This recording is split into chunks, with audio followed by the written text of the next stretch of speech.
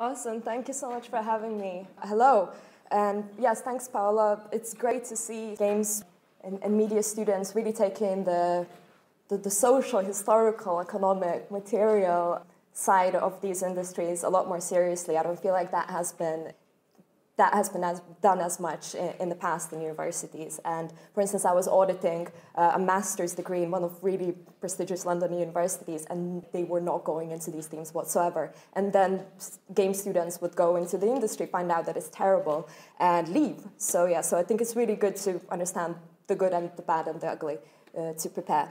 Anyway, so a little bit about me. Uh, yes, so I come from more activist and political background, I suppose sort of been doing a lot to do with housing issues and anti-fascism, and so yeah, and come from sort of art background as well. But then, but I've always gamed. Maybe it's like an Eastern European thing. You know, we game, and so Quake is like I'm, I'm very good at it. Anyways, and then two years it clicked for me when in 2017 when the profits in gaming over overcame the film industry. When I realized that this is huge, right? This is like the biggest cultural outlet there is. And politics definitely happened there. It's just that it's not being spoken about because us as progressives have really abandoned that field. Even I remember, you know, sort of being feeling judged for the fact that I am gaming, you know, because there's only certain wholesome activities that are being allowed in, like, I guess, pro- more progressive circles, so like gardening and like cycling and pottery or something like that, but not gaming. Gaming has always been just looked down on. And because people get abandoned or they feel I suppose, judged, then they turn into circles where they feel understood, then they close up and clamp up. And so I completely understand why certain, I guess, um, unsavory politics have, have formed in these spaces, but we're definitely going to talk a bit further about that. So yeah, I, I, do, I do some YouTube videos all about gaming and technology and politics and arts. I've just written recently for The Guardian as well about you know Brexit and the video games industry. I am a committee member for Game Workers Unite UK, and I'm also chair of Committee for Communications at Game Workers Unite International.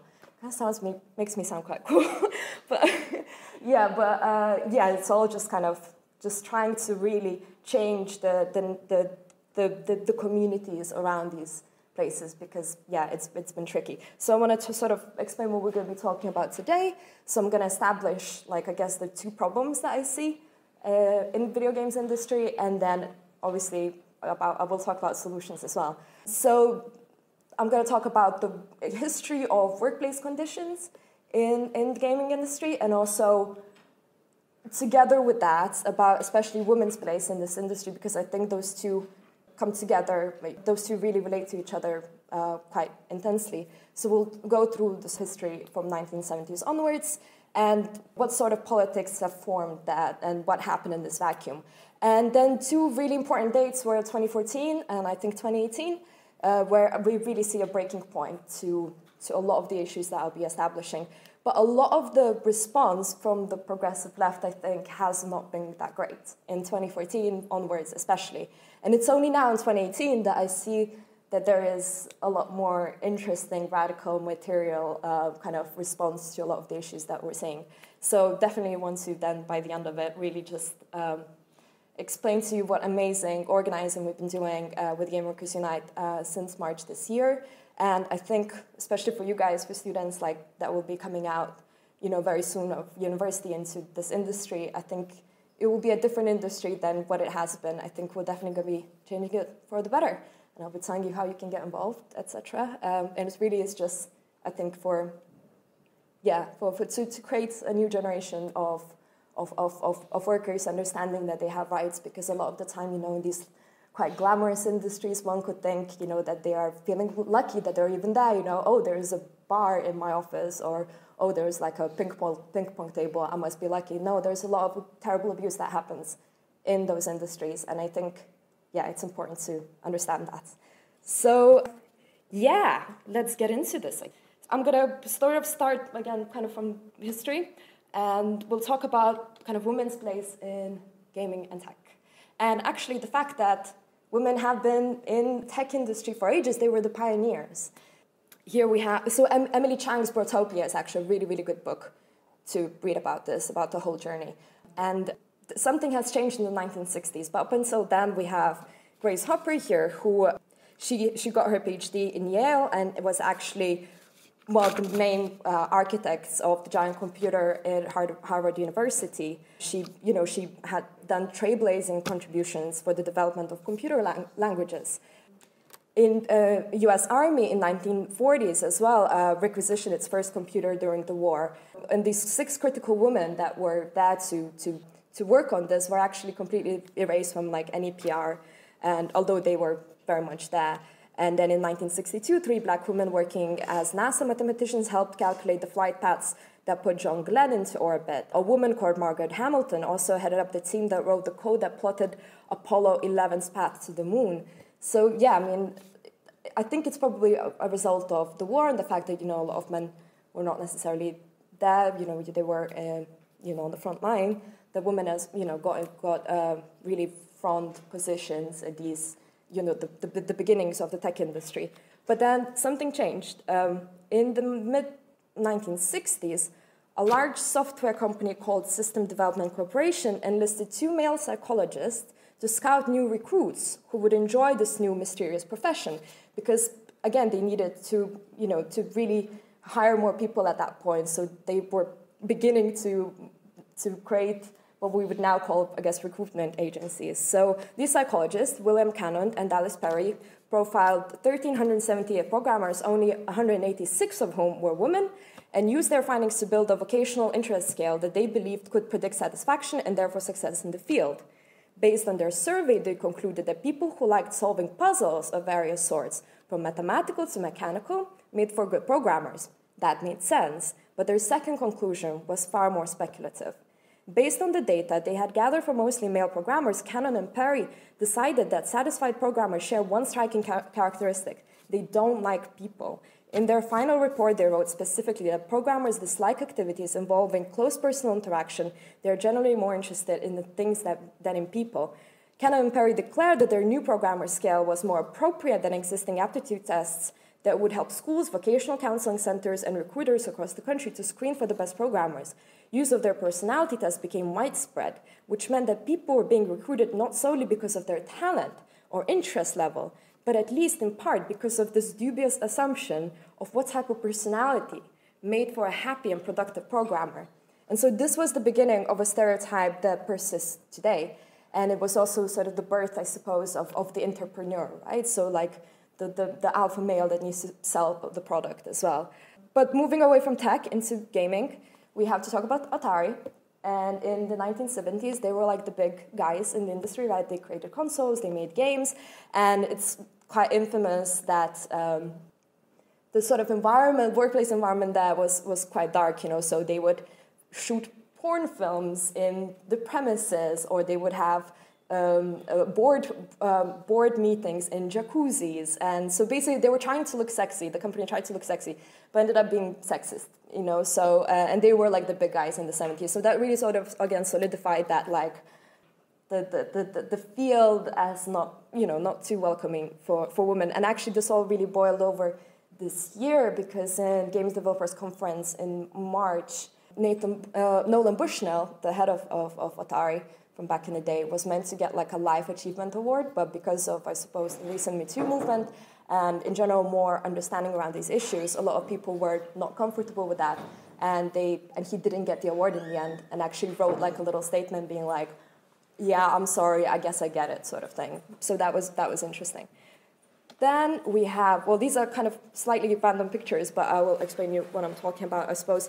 We move on to 1990s and genre maritimes and, you know, id Software with, you know, again, like very sort of, the mechanics in that game and Quake as well were very, very um, innovative, you know, the engines and the movement. But obviously, because they attached like very sort of macho and gory aesthetics, it was really mostly appealing, I guess, to, to, to the male audience as such. And so yeah, another sort of you know nail in the coffin of women being you know that much more in, in, in the gaming industry. We move on to 9/11, and actually, um, U.S. Department of Defense was investing uh, after around after about 2001 was investing hundreds of millions of dollars in creating sort of war-themed games. So again, this is not an accident. We're now seeing actual active involvement of certain organizations, you know, to sort of promote machismo, I suppose, in the industry. So again, another another issue. But then things began to change. I, point, I would point it out with Wii, with Wii console being introduced, you know? Obviously the mobile gaming as well, because that was a lot kind of easier for people that haven't been that much into gaming to get involved. But yeah, so um, the Wii console was like, you know, was extreme, huge success for, for uh, Nintendo. And at the time when like kind of consoles were peaking, you know, and no one really knew how to innovate as such. And it was available for all family, everyone was playing it, and kind of a lot more women were playing it. So game creators were like, oh, wow, so there's profit there, you know, there's profit creating products that are not just for dudes, I suppose. And and yeah, it was it was huge. And I think that's when kind of I think more women began to be involved again. And then we're gonna hit the iceberg. I'm sorry that I have to bring this up, but but I'll have to. But wait, just before I move on to Gamergate, uh, I want to also just explain that during this whole time, where were the progressives? You know, we were useless. We were completely useless. We sort of allowed the space to just, you know, although it was growing in profits and, and etc. You know, and we just allowed it to, to just go. We were nowhere to be seen. Our agenda hasn't really been even part of the conversation there. So again, certain politics definitely developed there. Anyways, so sorry to bring this up, but we are going to have to talk about Gamergate because it's a big deal, right? But don't worry, I will. I think I'd like to think I'll make this a bit more interesting because, yeah, you're probably thinking, what, what, why are all these people together? Like, what, what's going on here? Yeah, two years ago, world's political landscape was shaken when Donald J. Trump was elected president of the United States of America. And you might be asking, what does Gamergate got to do anything with it? But actually, there's quite a lot. So until very recently, we had this guy, Steve Bannon. He was president's chief strategist. But Bannon, before that, was running Breitbart News. Breitbart News is like a huge, very, very popular right-wing website, quite grotesque and fascist. And, you know, they, they run articles such as birth control makes women unattractive and crazy. Um, the solution to online harassment is simple women should log off. So, yeah, that's what they do. And actually, it's, it's really, really huge. So, and then we have this other dude enter the scene, which is Milo Yiannopoulos. And in Milo's words, Bannon made him into a star. Milo was working for the Breitbart News wing in the United Kingdom and was writing pieces like Would You Rather Your Child Had Feminism or Cancer? Milo was one of the main architects of Gamergate. He got in touch with a lot of, um, a lot of popular and important figures in Reddit and 4chan and basically began the, began the campaign. I'm sure many of you already know, but in essence, 2014, a few progressive women in games were subjected to the largest online hate and trolling campaign ever witnessed on the World Wide Web. Um, and a lot of it did spill into real life, you know, they got doxxed, etc. But yeah, Yiannopoulos engineered a sophisticated members campaign, numbers campaign and made contacts with influential figures in 4chan and Reddit to make the Gamergate the success that it was. It wouldn't be an exaggeration to call it a training ground for Trump's campaign and eventual election, election victory. So I actually see a big connection between those two. I know that's a bit of a brave statement. A lot of people don't necessarily agree with me, but I think there was definitely stuff established there that actually that was a training ground for 2016 and such. So in three months of autumn 2014, there were nine Gamergate-related articles on Breitbart News. The website used to show open contempt towards gamers before that, until the editors realized that it can be an often malleable group of people that can be used for their political goals and they weren't wrong. But now on also critique the left's response to it. I don't think that I don't think the way that that the, the, the liberal feminists responded to it was very good. So yeah, were the women targeted by the Gamergate trolls correct in defending themselves against the brutal bullying they were experiencing? Absolutely, of course. But was focusing on their individual stories the correct approach to not only win the PR war, but also push towards a solution, a change of heart? Probably not. The campaign against the Gamergate, uh, the Gamergate trolls focused so, solely on the victim's gender, rather than a better, more economically inclusive industry for society or even women as a whole. Now, does this sound familiar? Probably because this is precisely the criticism that Hillary Clinton's campaign was under, having failed to energize enough people to cast a vote for her, liberal feminism was put above progressive monetary solutions. As horrible as the abuse towards these women was, and they for sure do not deserve any of this, they are nevertheless powerful women. Hillary Clinton, for instance, has probably received more misogynist abuse than any other individual in the world's history. But her fight against that could have been perceived as hypocritical when her policies simply do not adapt with female solidarity. So Clinton had served on the board of Walmart, a company infamous for building its vast profits on the labor of poorly paid women, and the target of the largest sex discrimination suit in history. Single payer healthcare, minimum wage of $15, issues that affect working class women. All of these policies Clinton opposed. So, similarly, many women may not necessarily relate to the liberal feminist agenda and allies of the liberal games industry, when the people that are at the lowest class echelons of the games industry are constantly overlooked. The route that allows career prosperity in these areas is, play, is paved with blood and suffering of populations in the global south, creating the devices crucial for the game development jobs to exist. It's a sad reality that these women's voices are grossly underrepresented, even muted amongst the gaming community. The people that can afford having discussions about representation and top jobs creating the games are already lucky enough not to be dependent on jobs for manufacturing the tools that are paramount to the industry. So, you know, in the Democratic Republic of Congo, women uh, are subjected to just terrible conditions and rape for us to even get minerals in all of our devices. In Foxconn factories in China, where you know all of our phones and Dell HP computers are getting uh, put together, the, the sort of suffering that happens there is, is paramount. And again, I'm just shocked always that the games industry is like happy to sort of congratulate itself uh, with the wins here in the West, but is completely mute about these about these issues. And I fear this may be seen as me blaming or the, these women or the left for what is uh, effectively a win for misogynist white, white supremacists. But we can only be prepared to take this fight on again if we understand the limitations of liberal feminism as an identity and interrogate, and we need to interrogate the refusal to widen our ambition for equality. The fight for representation is certainly universal. But as women, we have been subjected to oppression disproportionately more. We should know how to be at the forefront of vigorous intersection of these issues. We should know better. Taking that on by the roots and challenging the economic disparity may perhaps be a more straightforward route, making it then more accessible for all involved. Identity politics cannot be devoid from class issues, or they are in danger to being co opted and be seen as elitist. It has certainly helped for Donald Trump, who, besides his hatred of certain identities, has always promised a material change, change jobs, jobs, jobs, was his main message. Now, we all know that it was lies, but it helped in, getting, in him getting elected. It is our duty to acknowledge that liberal feminism did not have a strong enough voice to counter these misogynist attacks. There is no space for compromise. We must demand equal opportunities for all and not just the influential.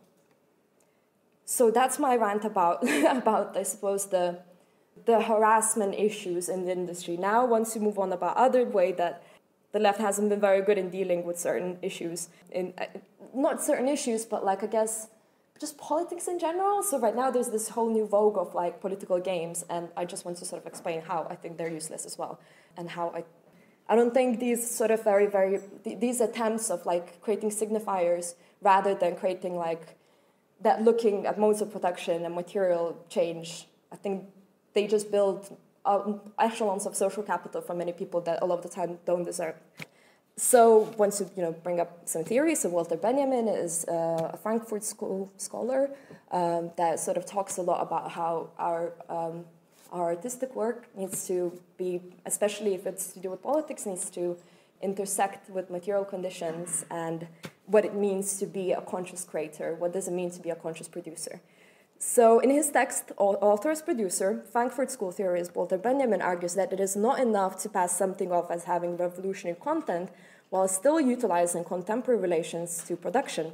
It is essential for the author, artist, activist, game developer to become a conscious producer, one who considers and evaluates their own work and their relation to the formal means of production in a truly revolutionary way.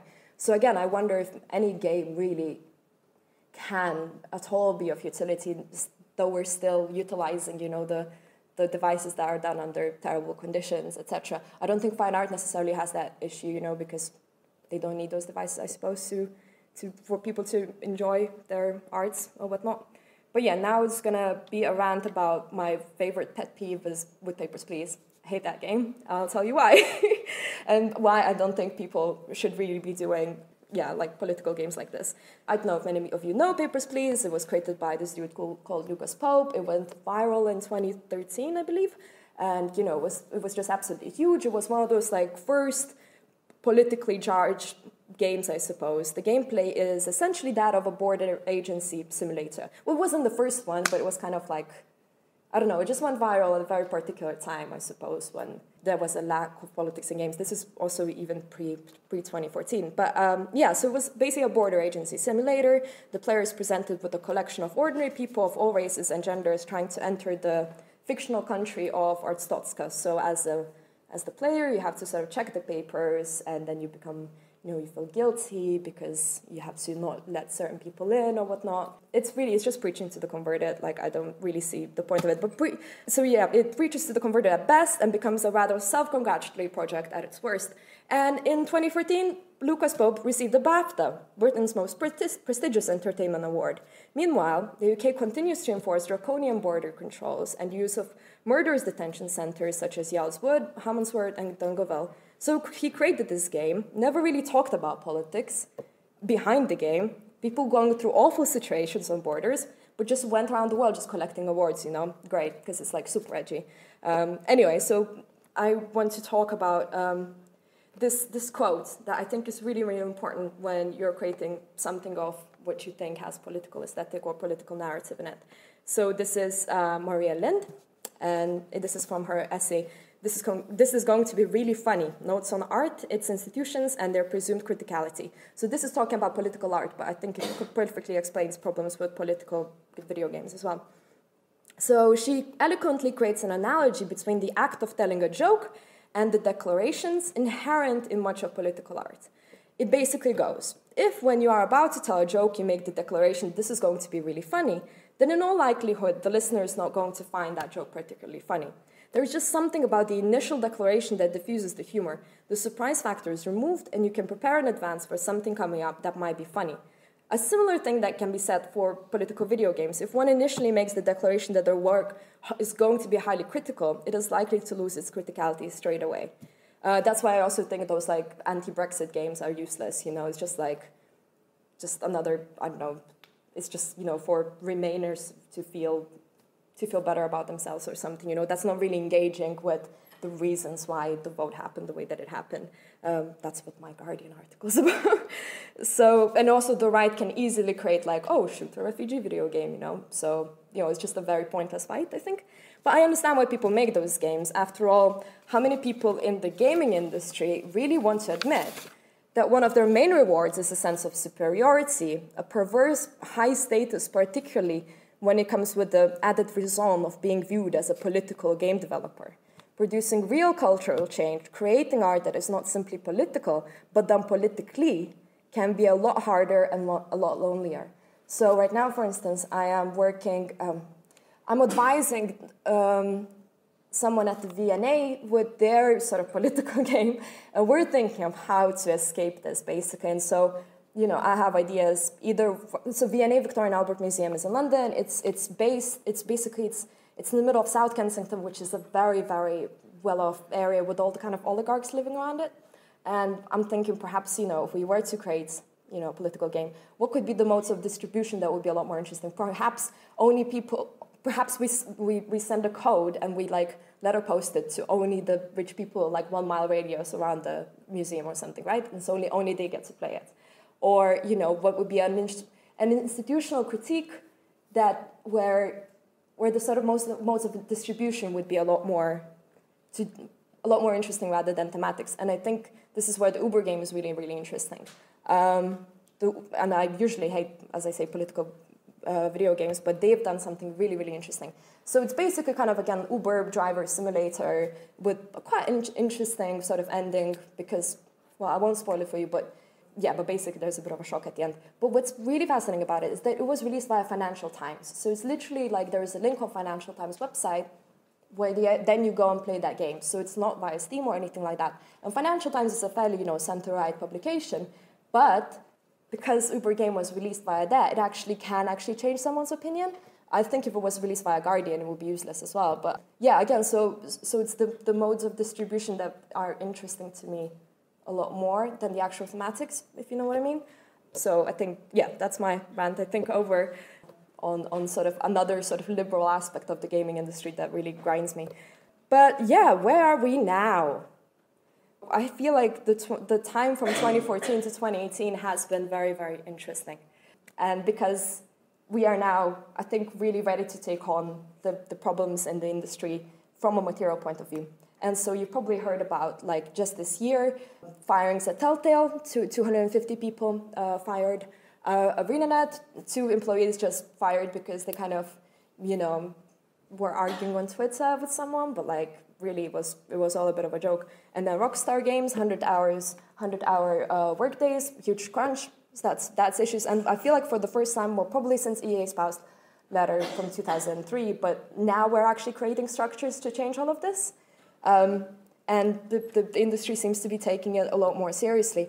But what fascinates me about this whole thing and why I see this as a way wider political project is that, and why alt-right is also freaking out, is because, and this is sort of my like conclusion to this in a, in a sense, we'll talk about solutions later, but um, it is not through sort of it, it is basic, it is through class-based organizing that we may dispel the myth of the alt-right that is propagating sexism and, and racism and that that will somehow improve someone's life, right? For instance, there are people like Ian Miles Strong, who is like a big alt-right gaming figure, and he is terrified of unions because his actual influence will be reduced because his whole thing is like, oh, you know, but it's these migrants or these women, that's what's reducing your material conditions. But it's actually, if we start talking about how no, it's through labor organizing and, and, and just sort of class consciousness that we improve one's material conditions, then I think that could really, really destroy their argument. And they're kind of terrified, and it's brilliant to see. Yes, so these are not the only issues that we have in the industry right now. There's speculative labor, outsourcing, zero hour contracts. Whereas they used to be secure jobs back in the day, they are less and less so. But traditional trade unions were also lame, you know, a lot of the time they're old, pale, male, stale, corrupt, bloated, and just really useless. That's true. And we have to also dis- kind of dispel the, the myth or just kind of just change the face of trade unionism as well. So that's a huge hurdle. But I think we're at the, front, at the forefront of something really exciting. So yeah, this is where we're talk, going to talk about Game Workers Unite. And that was born in GDC, Game, Game Developers Conference this March, when a few people, a Game Developers Conference happens in San Francisco every year, and a few people were trying to do an anti-trade union like panel discussion, and a lot of people were like, yeah, no, not having this, and actually shut it down, created the logo. The logo was done by um, Scott Benson, who created Night in the Woods, which is a really, really interesting game, and just started organizing. And it what started as just, yeah, a few people at the event, then exploded on Twitter. They have now like 10,000 followers, and they have a Discord chat like 400 people organizing, and branches all across the world. So most of US states now have a Game Workers Unite branch Canada, Brazil, Australia, New Zealand. UK, Germany, yeah, there are quite a few. And it's a grassroots organization, so really anyone can get involved and like and do their stuff. That's how I became like chair of the committee for comms because I was just like, I want to do this. They're like, great, you seem to have okay politics, do it. But it's really it's just trying to yeah to help workers in the industry because there are definitely issues. Um, and in the UK, we we are now we're like really excited. Basically, we're gonna become a branch of I, I can't tell the name just yet, but of a really small, dynamic militant trade union that is not like the rest.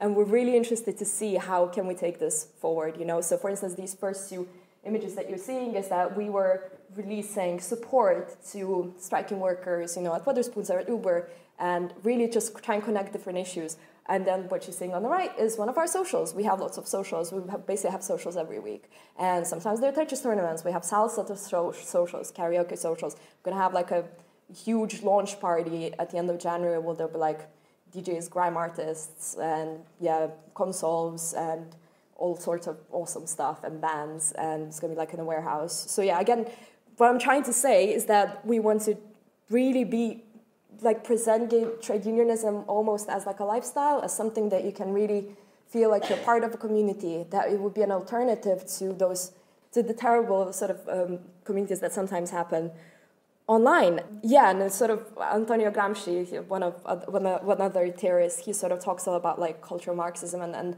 or how we um, we basically need to like take on certain cultural um, outlets and change the cultural hegemony, as you would put it, to really to try and push our agenda forward. And basically, that is through cultural outlets that we can, you know, achieve material condition change as well. So yeah, you should, you guys should definitely yeah, because this is your future. But yeah, we're also on the I think 26th of I think 26th of January as well, maybe or 19th of January. We're doing an international Game Workers Unite social. So literally all of our branches are going to be meeting up and having a party on the same day. So they'll be sending in pictures and that sort of stuff. So again, so so sort of first about creating social relations and like relationships and and and only then about the sort of organizing, which obviously is extremely important. But like I think it's only through establishing those social relations can like can people feel invested enough so yeah, that's why it's really kind of different from the rest of trade union movements. We also then want to include esports and content create well esports players and content creators eventually.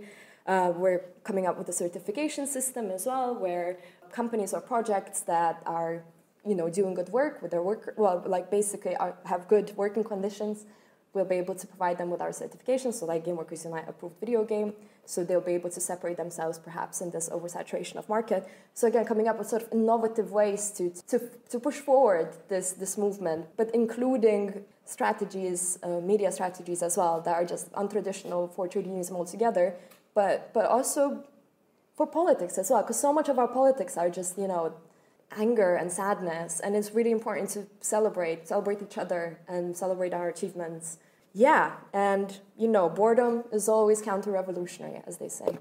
Thank you so much. Thank you.